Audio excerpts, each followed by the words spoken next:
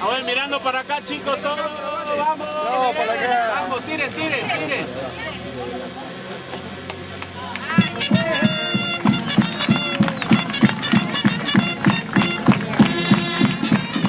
Queridos vecinos, amigos, la verdad que es muy satisfactorio poder venir a, a una obra que se ha hecho en forma conjunta. Ustedes no se dan idea de la manera en que no solamente nos ayudan a nosotros a hacer la obra, se ayudan a sí mismos, sino a lo que ayudan a otros barrios, porque la posibilidad de contar con el aporte vecinal es lo que a nosotros nos permite abrir muchos frentes en distintos lugares donde los vecinos están esperando las obras. Estamos hablando ya sobre una obra hecha, se puede disfrutar y, ¿por qué no? Sí vamos a seguir trabajando en el barrio. Yo los convoco también a que vamos a seguir trabajando en el barrio. No tengan duda.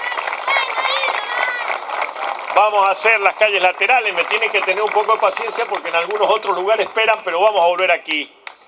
Y los convoco también a que este barrio necesita una unión vecinal.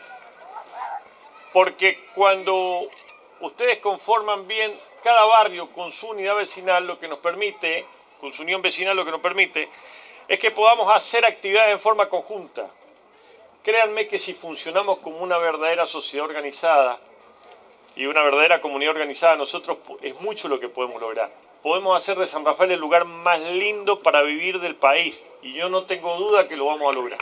Así que gracias a todos, a seguir trabajando, a seguir luchando. San Rafael es el lugar más lindo, sin ninguna duda, y este barrio forma parte de eso, del lugar más lindo para vivir. Gracias, gracias a todos.